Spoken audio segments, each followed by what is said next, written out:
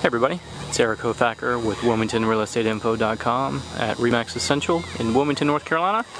Standing here at the left field hill at uh, Brooks Field at UNCW, uh, taking in a Seahawk game versus uh, Towson University, a little CAA uh, weekend of baseball.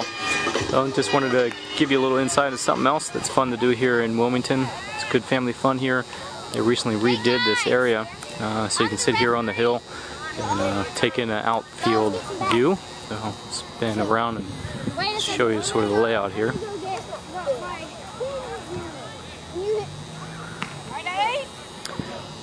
But certainly having UNCW here is a huge part of Wilmington.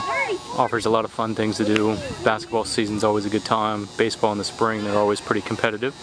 So uh, here you go, Brooks Field, UNCW baseball game.